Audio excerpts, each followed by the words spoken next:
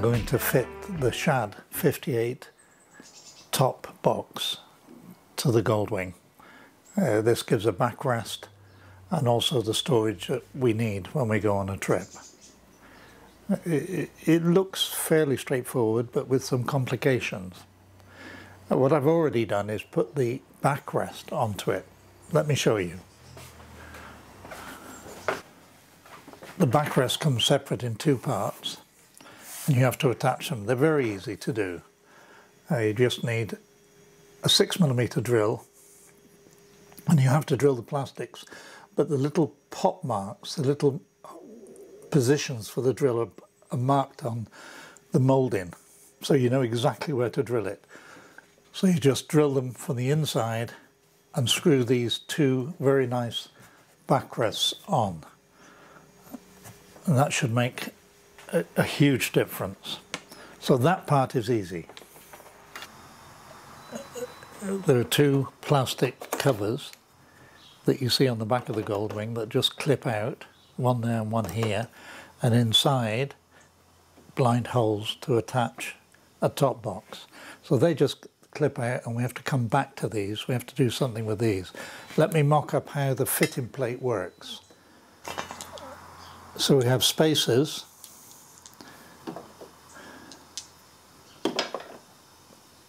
small ones and large ones and these literally bolt in that manner. That's, that's how the plate fits. So it's really as simple as that. From this angle you can see how it works. The spacers hold it off, that's your plate that your top box and its mounting plate fits on. The only tricky thing is that to take those spacers, this plastic cover has to be drilled. So that's, that's the hardest part, I think, of the whole assembly. So let me show you what we have to do.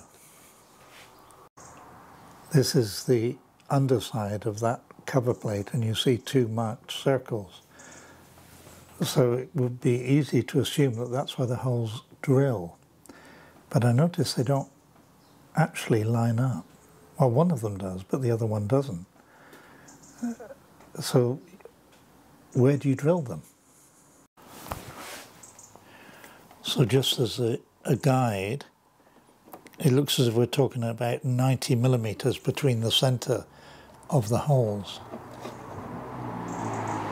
90 millimeters if you go on here, between the centres, is about 97. So something isn't right. If you drill them. Now that, that one I can see lines up. That one is out.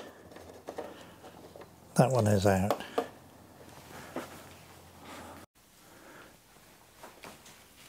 On the instructions here, it says drill a hole at either end of these plastic covers for the spacer to be able to go through. And it suggests an 18 millimeter hole and a 16 millimeter hole. One spacer is 14 millimeters. The shorter spacer is 16 millimeters. So what they're doing is saying drill an 18 and a 16 to give you a, two, little bit of leeway, a two millimeter, a two millimeter space. So you would think, but there's no other directions, there's no other measurements of where to drill them. So the natural assumption is to drill them exactly where the guide marks are. But this is out. This is out We've seen that it's 90 millimeter center to center, but this is 90, about 97 center to center. So how on earth do you know where to drill it? Using the packing material, I'm just going to make a template.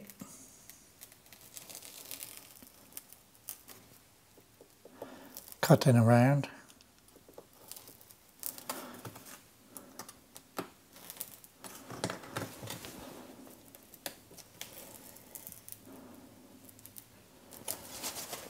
Because you get one chance of this.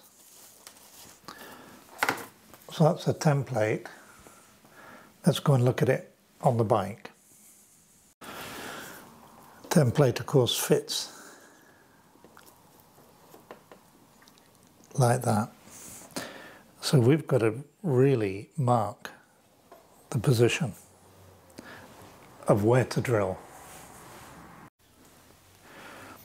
I've just taken an 8mm bolt and cut them down to short stubs so that I can screw them in. I mean, I appreciate you may have difficulty in, in doing this. I just cannot see how you can get the centre of the holes without doing something like this. It seems such a shame that those guides are incorrect. Lay my template over and you can, I can see through the centre of the hole. If I can mark them,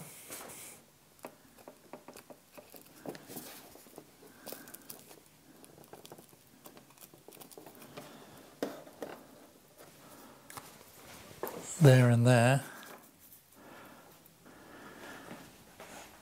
This is the template put on the front of the plastic and I can see exactly where to drill.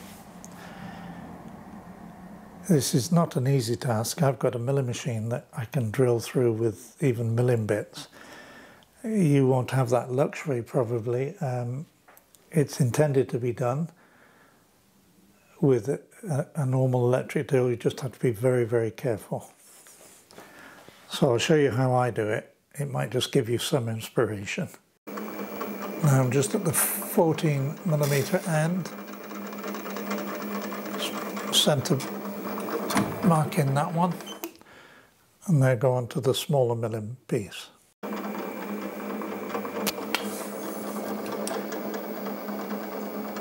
So now I can drill out this end.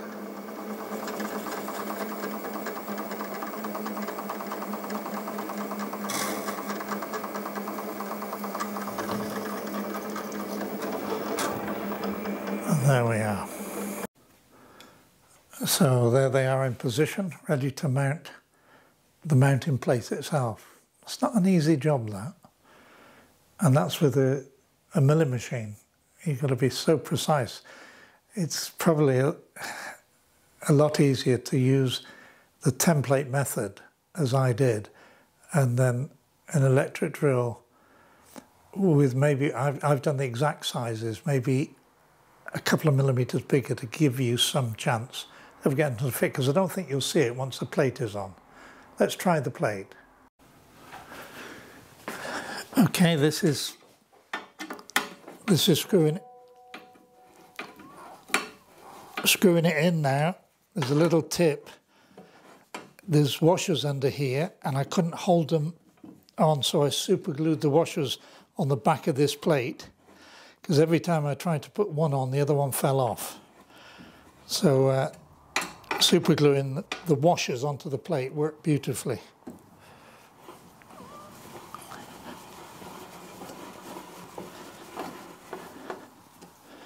The plate is a separate buy. You don't get it with the shad box. It's about 50 pounds, but I couldn't find any in the country, in the UK. Couldn't find any anywhere. And then I found uh, by Googling it, I found one, I think it was in Italy. And it was no, it, it, it was actually cheaper, including delivery, than buying it from Shad Direct by a couple of pounds. I was really worried about whether it would come. And uh, the company Moto In, Moto In, I think that's what it was. Boy, they're good. They kept me in touch all the way. They told me within a day of ordering it, it had been dispatched. And then a day later, it had reached the border. Day after that, it was in the UK. On Friday before the weekend. And then they said it should be delivered on Monday. And it was delivered on Monday. Absolutely fantastic. Otherwise, I was stuck. I couldn't do anything. Shad say it's about five weeks before you can get one from them. So how this Italian company got one, I've got no idea. Now that's that. Now the next part, there's no instructions at all. So you're going to have to work with me on this one. This is the mounting plate that actually comes with the top box. It's very substantial, very strong. And a whole host of bolts. I haven't a clue where they go. I'm surprised there's no instruction for this. So I can see four screws. It must come apart to be able to attach.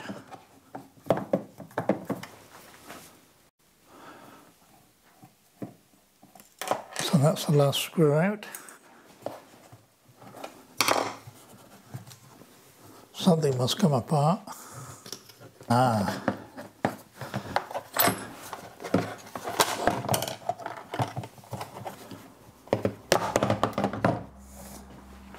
So two bits. Let's put that one aside because we know that that one fits with four screws. So I've got eight holes in the fitting plate that's really solid. It's not going to move anywhere. And each one of these holes has got a nut welded on the side. It's almost, I don't know whether I can show you, maybe not, but through here, there's one hole, but it's not, it's only half, it's, it's, it's half the hole. It's not lining up. So I'm doing something wrong. It looks, it looks the right position and it,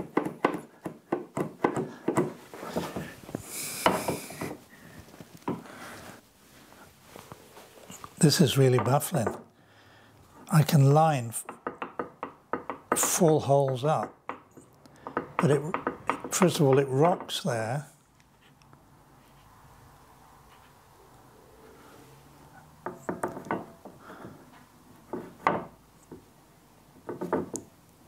Can't, you can't get it to, to fit, fit, it doesn't rock, just there.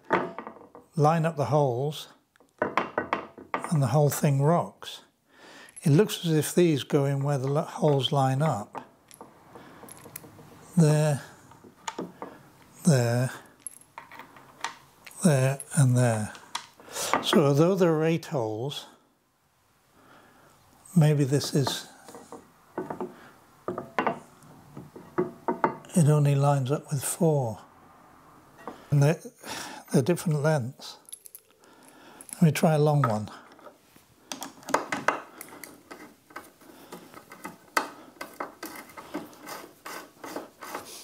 I wonder if it's to fit so many different plates, depending on what bike you have. That's why they don't give you instructions.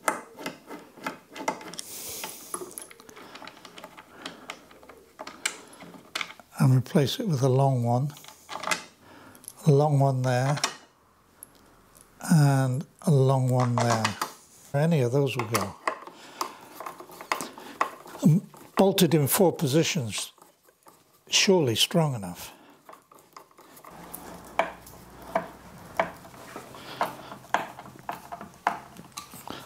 Oh, of course, that takes all the rocking out. You're locking it down. Much easier than I thought. Now let's put the cover back on.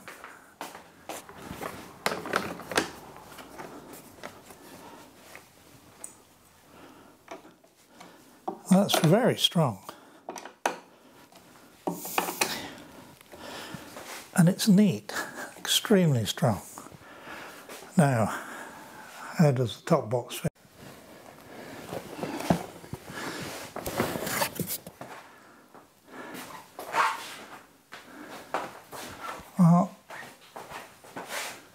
That looks pretty comfortable, I think. The the lid is expandable. That takes two full face helmets.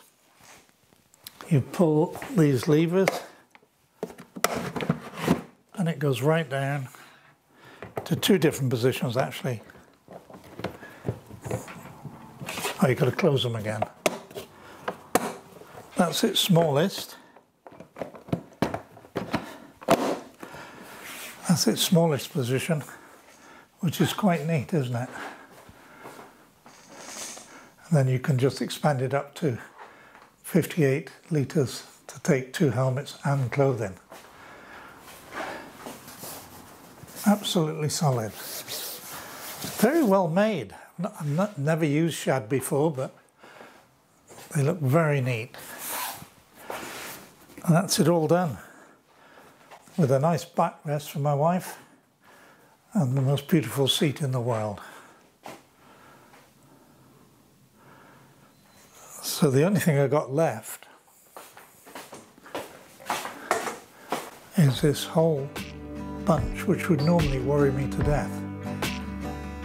But it must be for a thousand types of bikes. That's all I can think of. Thanks for watching.